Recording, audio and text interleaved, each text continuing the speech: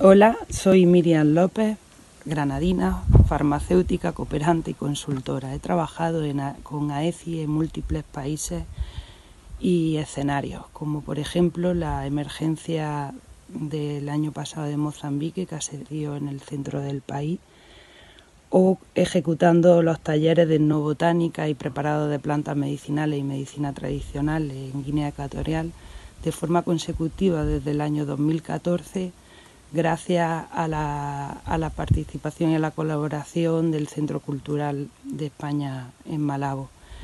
¿Y qué más puedo decir? En esta situación en la que vivimos de un problema de emergencia mundial, global, creo que la gran solución es la cooperación entre todas y todos. Así que feliz día del cooperante.